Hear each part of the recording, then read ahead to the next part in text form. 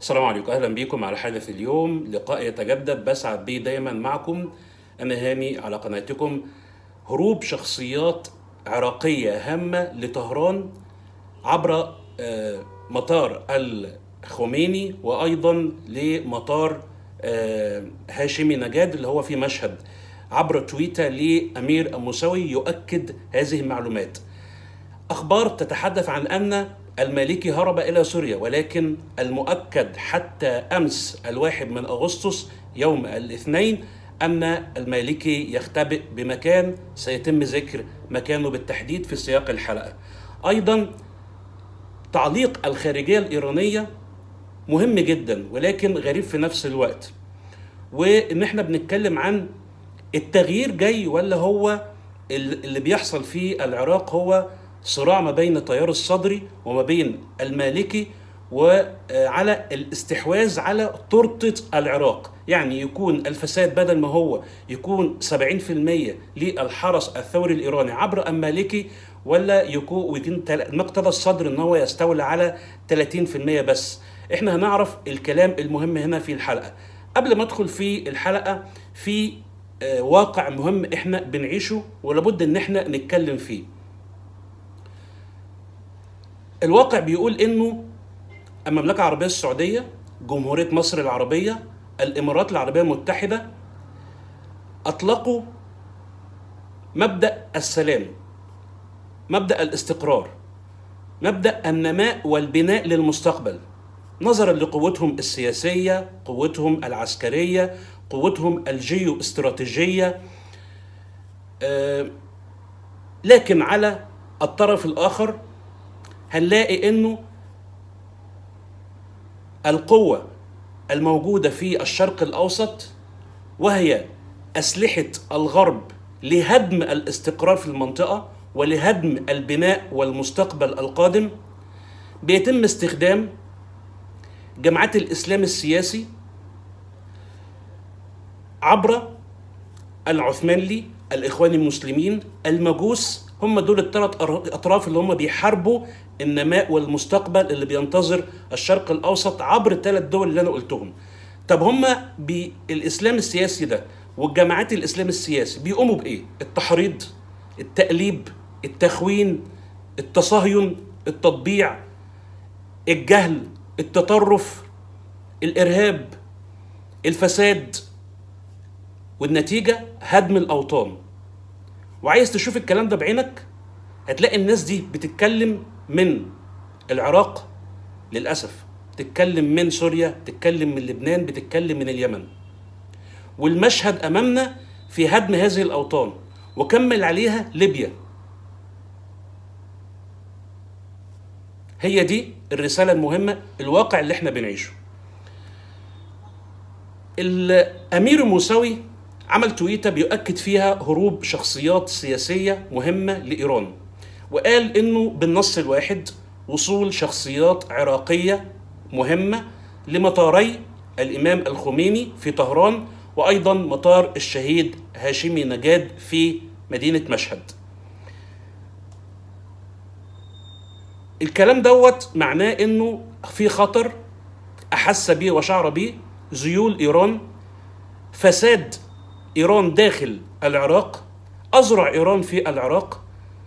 الشخصيات التي تحركها إيران داخل العراق أحست بالخطر وإن الموضوع تعدى موضوع الصراع السياسي وإنهم آه، قرأوا المشهد جيدا فهربوا إلى إيران. ولكن هم هربوا لايران بمفردهم. طبعا أكيد عائلتهم ولكن الشنط الكبيرة التي كانت تحمل الكثير من الأموال. يعني إحنا بنقول أموال العراق هربت إلى مطار الخميني ليستحوذ عليها الخامنئي ليستحوذ عليها الحرس الثوري حتى تزداد خزينة المجوس ويحاربوا بيها العراق مرة أخرى ويحاربوا بيها اليمن ويحاربوا بيها لبنان ويحاربوا بيها العواصم العربية اللي هم بيحتلوها. لكن في خضم الأحداث اللي هي موجودة أمس أو موجودة في خلال اللي أكتر من 72 ساعة بنشاهد إن في معلومات مؤكدة طائرة خاصة قادمة من الرياض كان الكلام ده أمس صباحا وصلت إلى بغداد في سرية تامة. المهمه غير معلومة وهي يعني بين أمرين اتنين. إما إجلاء شخصيات سعودية مهمة كانت موجودة في المنطقة الخضراء وأنا ما أعرفش اسم المنطقة الخضراء ده جه منين أنا لغاية دلوقتي ما أعرفش. يعني المنطقة لما تكون اسمها خضراء يبقى فينا ماء وكده لكن المنطقة الخضراء دي يعني ما أعرفش اتسمت ليه على المنطقة الدبلوماسية دي مهمة. لكن في الأخير إن هي ممكن تكون بتجلي شخصيات مهمة من المنطقة الخضراء أو إنها تحمل مسؤولين سعوديين وصلوا لمهمة سر سرية في بغداد. لأن الطائرة حطت في بغداد. ف في الأخير إن دي معلومة مهمة يتم ذكرها. سربت أنباء عن إنه المالكي هرب إلى سوريا عبر الحدود العراقية. ولكن الحقيقة والأصح والمعلومات المؤكده من مصادر مؤكدة أن المالكي حتى أمس الواحد من أغسطس الاثنين كان موجود ويختبئ في بغداد في شارع أبو نواس. شارع أبو نواس اللي هو قريب جدا من اللي هو الجسر المعلق يعني. ده بيدل إن هو آه، المالكي أصبح ورقة آه، محروقة وهتكون من ضمن كروت إيران المجوس الخاسرة داخل العراق وتعتبر أهم ورقة لدى آه، المجوس في العراق. ممكن تكون إيران ارادت التخلص من المالكي لإحداث فوضى في تفسيرات وفي آه، تحليل بيتكلم عن كده. ولكن لا بقاء قائمي ما كانش بيقول كده. بقاء قائمي في يعني يوم الخميس وال والجمعة والسبت وحتى يع- تقريبا هو موجود لغاية دلوقتي. آه، كان يؤكد إن هم كانوا آه، يعني يضغطوا حتى بقاء قائمي آه، بقاء آه، المالكي ولكن الآن المالكي هو يختبئ ويبدو إن الأحداث هتشهد آه، آه، يعني مشاهد للمالكي سنراها بأعيننا في الأيام القادمة. لكن احتلال البرلمان العراقي في المنطقة الخضراء من التيار الصدري هو عنوان المرحلة.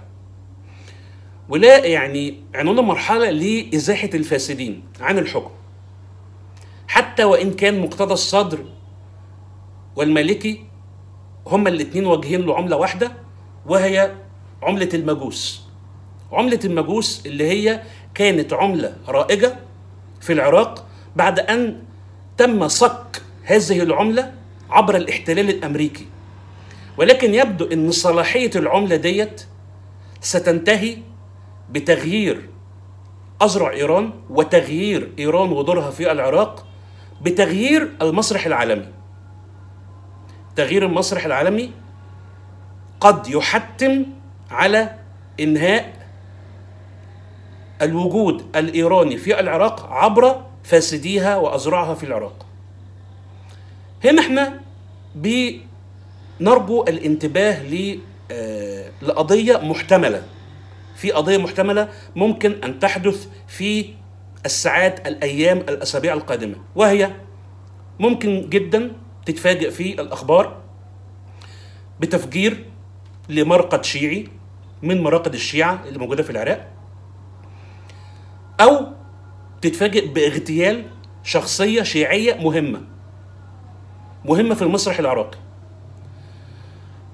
لكن هي في الحقيقة كانت مهمة عند المجوس. لكن مش مهمة عند المجوس دلوقتي.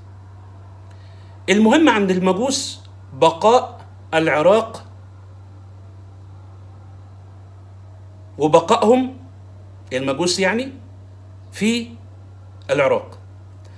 الغرض من التفجيرات اللي قد تحدث أو الاغتيالات اللي قد تحدث لقيادات شيعية أو للمراقد الشيعية الغرض المجوسي من هذا ال- التصرف إذا حدث هو عملية خلط للأوراق. يعني هيكون في خلط للأوراق. لإعادة تدوير فساد إيران داخل العراق أو لإعادة تدوير مهمة إيران جوه العراق. وهنا ناخد بالنا إن أمريكا أو الدولة العميقة اللي في أمريكا شايفة لغاية دلوقتي إن بقاء إيران وقوتها ضروري. وبالتالي شايفة إن اذرع إيران موجودة في العراق. لكن رؤية أمريكا شيء ورؤية إيران شيء وتغيير المسرح العالمي ده شيء تاني خالص. هو أكبر من الاثنين أصلا.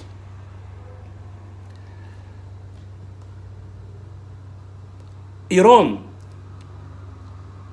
والمجوس محافظتهم على نفوذهم بالعراق هو بالنسبة لهم مسألة حياة أو موت.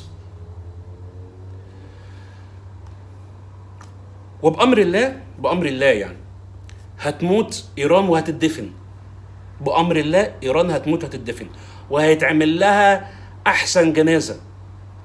ويعني هيتوزع في الجنازة ديت وهن وهنشرب كلنا شربات وهنشرب عصير وناخد ونشرب ماونتن ديو وهنوزع على بعض بإذن الله الجزم والنعال ونضربها على كل مجوسي كان موجود في العراق وكل مجوسي كان موجود في إن شاء الله في اليمن وكل مجوسي موجود في لبنان وموجود في ال- سوريا. لكن طالما إحنا جبنا سيرة المجوس يبقى الناطق باسم الخارجية المجوسية بيتصرح تصريح مهم جدا بيقول إن إحنا نتابع التطورات بالعراق بقلق بالغ. ليه؟ لأن هم بيعتبروا إن العراق محافظة عراقية. يعني بعد طبعا ما سمح آه، يعني خونة الداخل بسيطرة المجوس الخارجيين على العراق.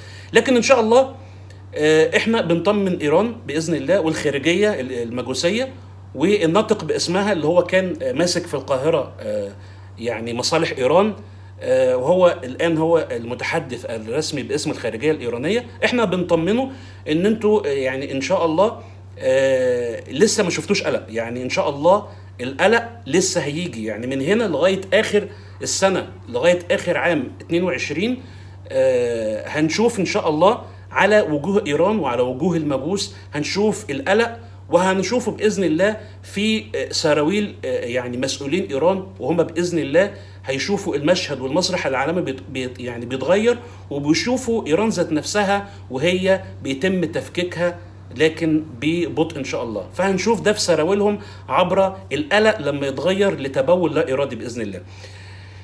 اللي يعني بيشاهد ال ال ال يعني البعض مننا ما يحدث في العراق هو صراع على السلطة. في ناس بتشاهد ال- الصراع في العراق دلوقتي. هو صراع على السلطة ما بين مقتدى الصدر وطياره ما بين المالكي ما بين آه، يعني أذرع إيران وذيول إيران من آه، ما يمثل ال- الحرس الثوري الإيراني عبر آه، ال- ال- اللي هو ما يمثل الدولة اللي هو المالكي وهو في ناس شايفة من المشهد ده إنه مفيش تغيير للوضع.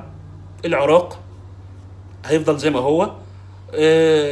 وإنه تيار الصدر عايز يستحوذ على نسبه أكبر من التورتة السياسية أو التورتة ال- البرلمانية أو التورتة الحكومية أو آه، تورتة الفساد لأن هو ضارع في الفساد لأن هو كان موجود قبل كده آه، في الحكومة من آه، قبل يعني قبل 15 سنة وإن هو كان شاهد على الفساد. في ناس شايفة المشهد كده تقول لك لا ده هو صراع على السلطة. طيب هناك طرف آخر يقول لك لا التغيير قادم. وإنه مضى على العراق 20 سنة ومضى على إيران آه، فترة طويلة أكثر من 43 سنة ومضى على إيران داخل مضى على المجوس بداخل العراق أكثر من آه، يعني أكثر من آه، حوالي 18 سنة وذيول إيران داخل ال- العراق. وإنه شايفين إنه ده الطرف الثاني شايف ان انتهت صلاحية إيران. انتهت صلاحية إيران وان وانتهت صلاحية ذيولها والتغيير قادم والتغيير القادم ده مش آه، يعني مش بإرادة آه، إيرانية مش بإرادة لا هو بإرادة يعني بإرادة وهيكون بأمر دولي. حتى نهاية العام يعني وجهة النظر الأخرى ترى أن حتى نهاية العام لغاية حتى نهاية 2022 هيكون في آه، انتهاء لصلاحية إيران وذيولها داخل العراق. البداية هي فوضى آه، سياسية بدأت من أيام بدأت من الأسبوع الماضي واحتدمت في بداية هذا الأسبوع يعني سيتبعها فوضى أمنية ثم يتبعها فوضى اقتصادية في العراق. الفوضى الاقتصادية في المرحلة الثالثة هتكون ناتجه عن آه، نتيجة مستخلصة ل آه، ال- السببين الأولين اللي هي الفوضى السياسية ثم الفوضى ال- آه، الأمنية. ثم يتم الخلاص بإذن الله من الفاسدين الباقيين في العراق، الفساد اللي في العراق من القضاء، الفساد من التيارات اللي موجودة اللي هي بتستحوذ على العراق وإن هي مستفيدة وبتفيد إيران، مستفيدة إن هي بي- بيزيدوا ثراء وإن هم بيزيدوا العراق فقرا وبيزيدوا العراق استنزافا وبيزيدوا الوطن العربي انشقاقا. لكن بأمر الله طب إحنا الخلاصة إحنا هنشاهد المسرح ال- يعني المسرح آه، والموقف العراقي ولأنه آه، الأهم آه، في المنطقة المسرح العراقي أهم نقطة في المنطقة العربية. جمجمة العرب العراق المسرح العراقي الآن هو اللي بيتم آه، يعني التغيير فيه. يتبعه اليمن ثم يتبعه بعد ذلك مشاهد أخرى.